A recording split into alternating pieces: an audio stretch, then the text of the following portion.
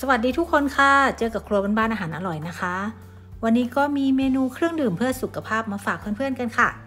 หน้าตาก็จะประมาณนี้นะคะ วันนี้จะมาชวนทำสมูทตี้อะโวคาโดกันค่ะ เมนูนี้อร่อยทำง่ายมากเลยนะคะ เนื่องจากวันนี้ซื้ออะโวคาโดมาเยอะค่ะ ก็เลยแบ่งมาทำสมูทตี้นะคะ ประโยชน์ของอะโวคาโดก็มีเยอะแยะมากมายเลยค่ะ อย่างเช่น โปรตีนสูงนะคะ ลดน้ำหนัก ลดความเสี่ยงโรคหัวใจค่ะ ลดน้ำตาลในเลือดนะคะ แล้วก็บำรุงสายตาค่ะ และยังมีอีกมากมายเลยนะคะ เพื่อไม่ให้เป็นการเสียเวลาเราไปเริ่มทำกันค่ะ ปริมาณส่วนผสมพี่แปะไว้ให้ตรงนี้นะคะ ในแก้วนมนี้พี่ได้ผสมน้ำมะนาวไป 1 ลูกนะคะ แล้วก็เกลือป่นประมาณ1ส่วน8ช้อนชาค่ะ พอดีตอนที่ผสมไม่ได้ถ่ายให้เพื่อนๆดูนะคะวิธีทำก็ง่าย ๆ เลยค่ะ เทส่วนผสมทุกอย่างรวมกันนะคะ คนให้เข้ากันเลยค่ะ โยเกิร์ตนี้จะใช้1ถ้วยนี้เลยนะคะ น้ำผึ้งค่ะ2ช้อนโต๊ะนะคะ สูตรนี้จะอร่อยกลมกล่อมมากเลยนะคะ เพราะว่าเราได้ใส่มะนาวลงไป1ลูกค่ะ แล้วก็เกลือป่นนิดหน่อยนะคะ เพื่อตัดความเลี่ยนนั่นเองค่ะ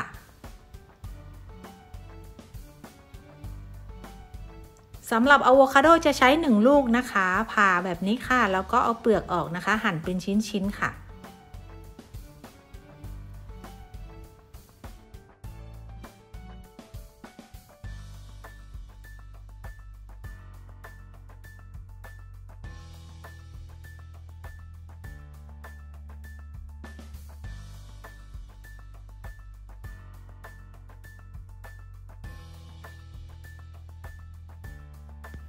น้ำแข็งที่ใช้ก็ประมาณ 1 แก้วค่ะใส่ลงไปนะคะ ตามด้วยอะโวคาโดหั่นชิ้นเลยค่ะ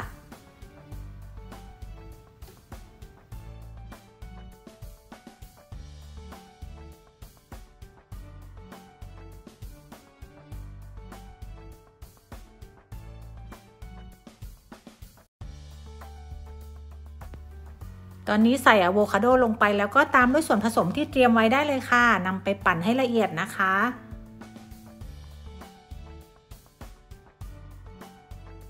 ตอนนี้ปั่นเสร็จเรียบร้อยค่ะ ส่วนอะโวคาโดนี้จะเอามาแต่งหน้านิดหน่อยนะคะ ใครจะไม่ใส่ก็ได้ค่ะ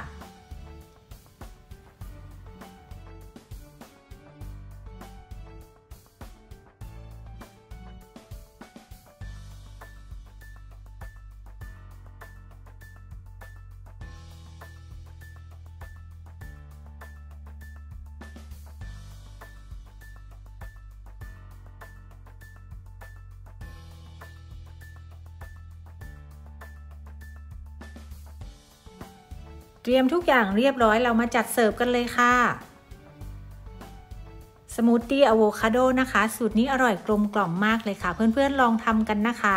รับรองอร่อยติดใจแน่นอนค่ะ เมนูอร่อยอร่อยจากอะโวคาโดยังไม่จบเท่านี้นะคะ ปกติพี่เป็นคนชอบทานอะโวคาโดอยู่แล้วค่ะพอสั่งมาทีนึงเยอะๆ แบบนี้ก็เลยนำมาดัดแปลงเป็นเมนูอร่อยๆ มาฝากเพื่อนๆกันนะคะ แต่ว่าจะเป็นเมนูไหนนั้นต้องรอติดตามรับชมกันค่ะสำหรับวันนี้ก็ขอฝากเมนูนี้ไว้ด้วยนะคะ ถ้าใครดูจบแล้วชอบก็ฝากกดไลค์กดแชร์ด้วยค่ะ เพื่อเป็นกำลังใจให้ทำคลิปต่อๆไปนะคะสำหรับวันนี้คงต้องลากันเพียงเท่านี้ค่ะ ไว้เจอกันใหม่คลิปหน้านะคะ สวัสดีค่ะ